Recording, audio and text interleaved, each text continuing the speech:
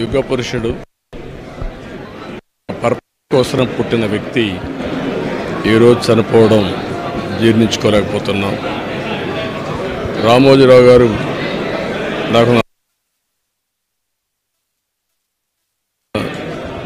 అనునిత్యం సాధన చేసింది సమాజ హితం కోసం పనిచేశారు ఈ తెలుగు జాతి కోసం పనిచేశారు. ఒక మామూలు గ్రామంలో పుట్టి సాధారణ కుటుంబంలో పుట్టి ఒక అసాధారణమైన వ్యక్తిగా తయారు కావడమే కాకుండా ఆయన ఈరోజు చూస్తే ఒక వ్యక్తి కాదు ఆయన ఒక వ్యవస్థ కింద తయారయ్యారు.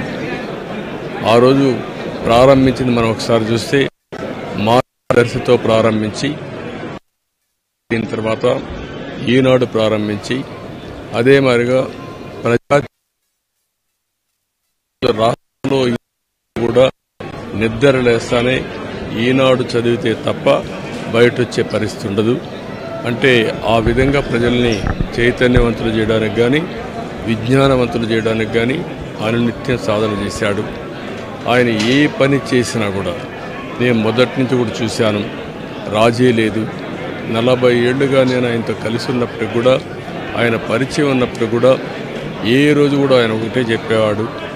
మీరు ఏమి చెప్పినా నేను మాత్రం ధర్మం ప్రకారమే పనిచేస్తాను విధి నిర్వహిస్తాను తప్ప నేను ఎల్లప్పుడూ ప్రజాపక్షానే ఉంటానని చెప్పి స్పష్టంగా చెప్పిన వ్యక్తి రామోజీరావు గారు.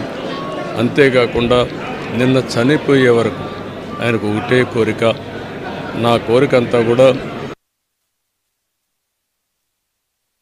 పనిలో అయితే అది నాకు ఆనందంగా ఉంటుంది. అంతేకాదు నేను చేసే ప్రతి నిమిషం నేను బ్రతుకున్నంత వరకు అవసరం పనిచేయాలి. పరిస్థితినే ఉండాలి అనే గారు. కానీ ఆ రోజు ఈరోజు మనం చూస్తూ ఉంటే ఆయన నిర్మించిన వ్యవస్థలు శాశ్వతం. ఈనాడు శాశ్వతం. అదే మరి కాకుండా చిత్ర పరిశ్రమ కూడా ఎనలేని సేవలు. రామోజీ ఒక అత్యున్నతమైన స్టాండర్డ్స్లో రామోజీ ఫిల్మ్ తీసుకు ఫిల్మ్ సిటీ తీసుకొచ్చి కమర్ కాంప్లెక్స్ కట్టచ్చు.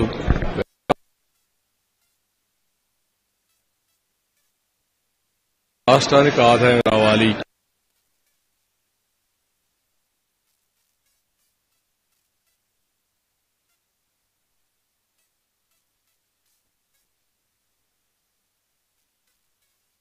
అలాంటి వ్యక్తిని పోగొట్టుకోవడం చాలా బాధ అనిపిస్తుంది. ఏదేమైనా ఆయన ఇచ్చిన స్ఫూర్తి ఉంది.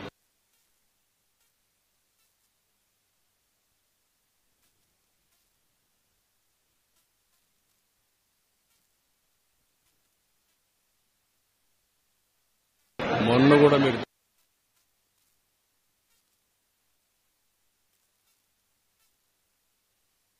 సైడే ఉన్నాడు. అదే విధంగా పనిచేశారు. అందుకే ప్రజలు ఒక ఆయన జీవితం మొత్తం ఆయన సంపాదించిన విశ్వసనీయత అలాంటి వ్యక్తిని పోగొట్టుకోవడం చాలా బాధేస్తుంది. ఏదేమైనా ఆయన ఆశయాలు తెలుగు జాతికి ఉన్నాయి. ప్రతి ఒక్కరు కూడా ఆయన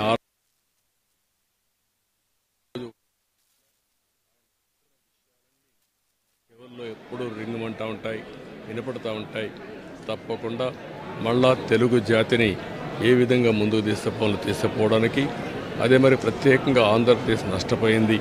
ఆ రాష్ట్రాన్ని అభివృద్ధి చేయడానికి రామోజీరావు గారు ఇచ్చిన స్ఫూర్తితో ముందుకు పోతానని చెప్పి తెలియజేసుకుంటూ మరొకసారి ఈనాడు ప్రేక్షకులకి ఈటీవీ ప్రేక్షకులకి రామోజీరావు గారి ఈ ఈరోజు ఈ సంస్థలో పనిచేసే సిబ్బందికి అదే మరి కుటుంబ సభ్యులందరికీ కూడా నా ప్రగాఢ సానుభూతి తెలియజేస్తున్నా.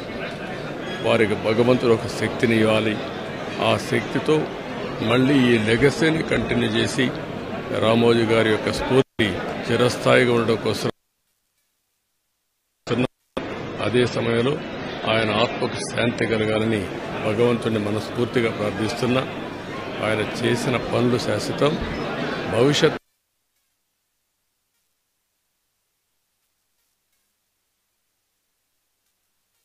భగవంతుడిని మనస్ఫూర్తిగా ప్రార్థిస్తూ తెలుగువారు ఉన్నాయి సెలవు తీసుకుంటాం